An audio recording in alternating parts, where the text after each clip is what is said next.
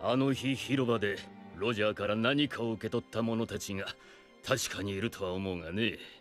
君のよく知るシャンクスもその一人だろう。シャンシャンクス知ってんのか？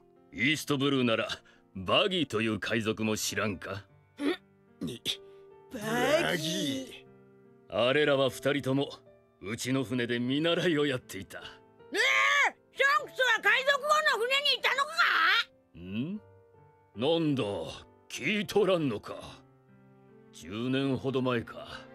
この島でばったりあいつと会ってな。トレードマークの麦わら帽子と左腕がなくなってた。訳を聞くと嬉しそうに君のことを話すんだ。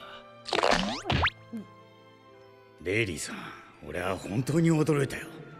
イーストブルーにロジャー船長と同じことを言うガキがいたんだ。船長のあの言葉それ以来いつかモンキー・ディ・ルフィ君に会いたいと思っていた。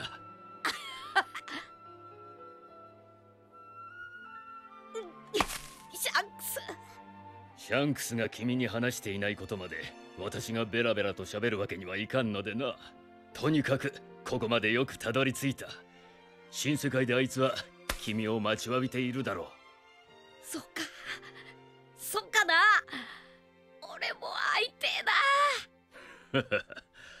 さて状況も状況。船のコーティングの依頼だったな。